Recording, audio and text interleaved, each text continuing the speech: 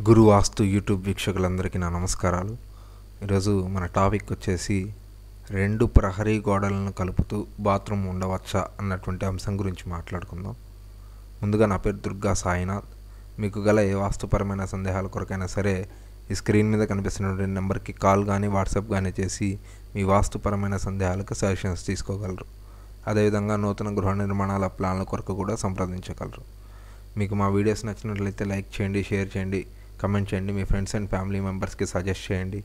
తద్వారా మీతో పాటు వాళ్ళు కూడా వాస్తుకు సంబంధించినటువంటి సరైన నాలెడ్జ్ తెలుసుకోవడానికి అవకాశం ఉంటుంది. టాపిక్లోకి వెళ్తే ఇక్కడ మీకు ఇమేజ్లో కనిపిస్తున్నటువంటి హౌస్ వచ్చేసి మనం కోదాడలో తెలంగాణ కోదాడలో మనం విజిట్ చేయడం జరిగింది. అయితే ఈ బాత్రూమ్ మీకు ఇక్కడ కనిపిస్తున్నటువంటి ఈ బాత్రూమ్ దక్షిణం ప్రహరీ గోడ పడమర వైపు ఉన్నటువంటి ప్రహరీ గోడను కలుపుతూ తీసుకున్నటువంటి బాత్రూమ్. మొదటగా ఇంటికి ప్లాన్ ఇచ్చినటువంటి సిద్ధాంతి గారు ఎవరైతే ఉన్నారో ఆయన నైరుతిలో ఇక్కడ బాత్రూమ్ సజెస్ట్ చేయలేదు. వీళ్ళది తూర్పు ఫేసింగ్ హౌస్. ఈ తూర్పు ఫేసింగ్ హౌస్కి తూర్పు భాగంలో ఖాళీ ఉంటుంది కదా అని చెప్పేసి ఎవరైనా చుట్టాలు ఇలాగ వచ్చినప్పుడు ఇంటి ముందు ఖాళీ ఉంటుంది చక్కగా ఒక పది మంది కూర్చోవచ్చు అని అన్న ఉద్దేశంతో బాత్రూమ్స్ ముందు పెట్టుకోకుండా నైరుతి భాగంలో పెట్టుకోవచ్చా అని చెప్పేసి అడిగారు. అడిగినప్పుడు సిద్ధాంత్ గారు ఇంటి స్లాబ్ కంటే ఎత్తు ఉండాలి ఇక్కడ వేసేటువంటి రూము తర్వాత ఇంటి ఫ్లోరింగ్ కంటే ఎత్తు ఉండాలని చెప్పేసి ఇక్కడ ఆయన సజెషన్స్తో ఇక్కడ తీసుకున్నారు.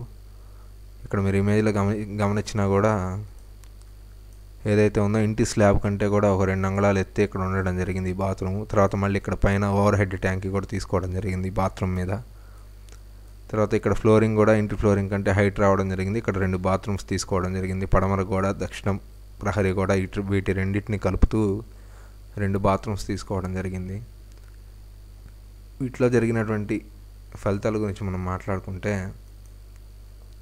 Family disturbance.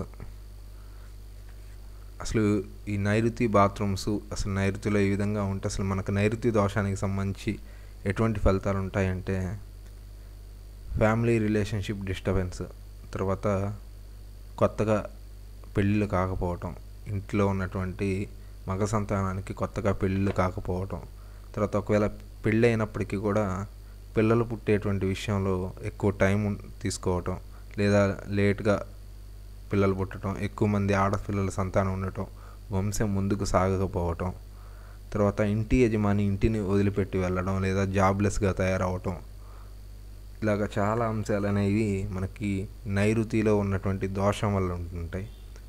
అన్ని సందర్భాల్లో అన్నీ కూడా నైరుతిలో బాత్రూమ్ ఉండటం వల్లే కాదు మిగిలిన ఫ్యాక్టర్స్ కూడా ఉంటుంటాయి మనకి. నైరుతి పెంపవచ్చు లేదంటే నైరుతిలో చిన్న గోడ అవ్వచ్చు పల్చటి గోడ అవ్వచ్చు లేదంటే నైరుతిలో కిటికీలు ఉంటూ ఉండవచ్చు.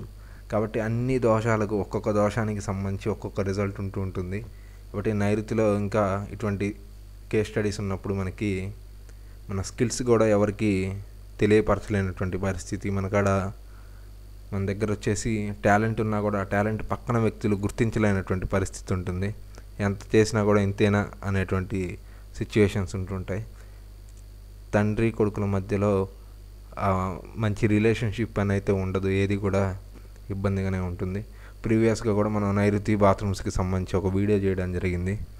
తర్వాత నైరుతుల దోషాలకు సంబంధించి కూడా వీడియో చేయడం జరిగింది. ఎప్పుడు కూడా ఈ దోషాలు ఎప్పుడు చేంజ్ అనేది అయితే ఏమీ ఉండదు.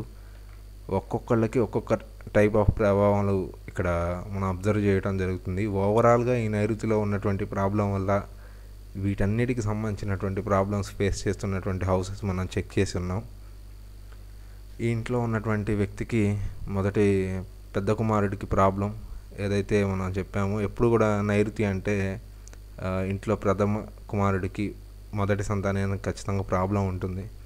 అతనికి వచ్చేసి ఫ్యామిలీ వాళ్ళ భార్య వచ్చేసి ఇంట్లో ఉండకపోవడం ఎక్కువగా వాళ్ళ పుట్టింటికి వెళ్ళిపోవడం ఇంట్లో ఉండడానికి ఇష్టపడకుండా అలా చేయడం జరుగుతుంది. ఈ ఈ ఇంటికి అడిషనల్గా ఉత్తర వాయువ్యం స్థలం కూడా పెంపు ఉండడం జరిగింది కొంత.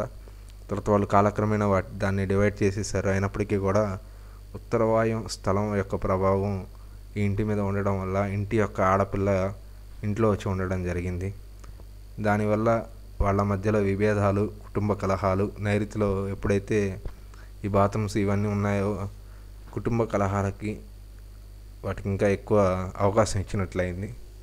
కాబట్టి నైరుతిలో ఎప్పుడు కూడా రెండు గోడల్ని కలుపుతూ ఈ విధంగా అసలు బాత్రూమ్స్ కానీ రూమ్స్ కానీ ఏమి తీసుకోకూడదు. దాని ద్వారా ఏంటంటే పిల్లల విషయంలో అయితే ఎడ్యుకేషన్ కెరియర్ స్కిల్స్ అన్నీ కూడా ఎప్పుడు డిస్టర్బెన్స్లో ఉంటూనే ఉంటుంటాయి ఒక్కొక్కళ్ళు అసలు చదవరు ఒక్కొక్కళ్ళు చదువుతున్నా కూడా మంచిగా రాణించలేకపోవడం ఇటువంటి అన్ని అంశాలు కూడా ఎప్పుడు కూడా ఇబ్బంది పెడుతూనే ఉంటుంటాయి. కాబట్టి నైరుతిలో బాత్రూమ్స్ అవాయిడ్ చేయండి.